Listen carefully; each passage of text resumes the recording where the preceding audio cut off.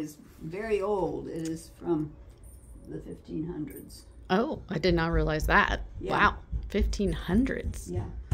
Yeah, I have the information in the second drawer about Okay. the pictures. Great. So that one's from the 1500s. Uh-huh. And it's supposed to be, I've got written down what it is. It's Yeah. some lady who's cleaning off somebody's uh, bloody, bloody sword. Arrow or something. Yeah. Yeah. I remember, I think it might have been, I don't know what it was, but I've got it written down. Okay. And uh, I should take it over and get it cleaned because it hasn't been cleaned for Oh. many years. And, Uh-huh. and of course, the one in the living room here.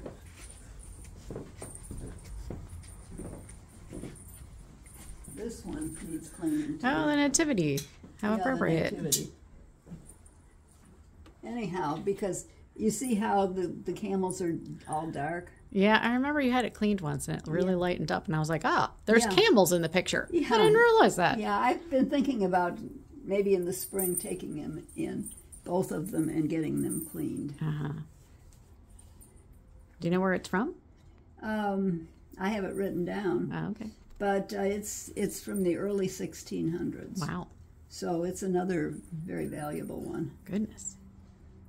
I don't know how much it's valuable, I, how valuable it is. I had it analyzed when my mother died, Uh-huh.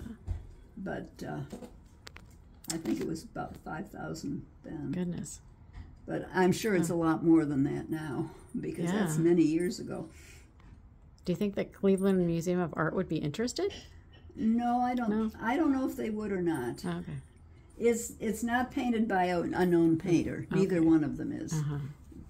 They said it's after the school of somebody or other who was Okay, teaching right. painters, and that's one that one of the guys did in the style that they were teaching.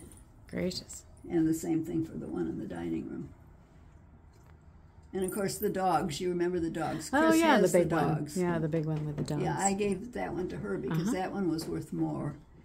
And uh, I wanted to get it out of here because if we run out of money, right. They'll you know, just they'll take stuff. us. But they will make us sell things that are valuable Mhm, before. mhm.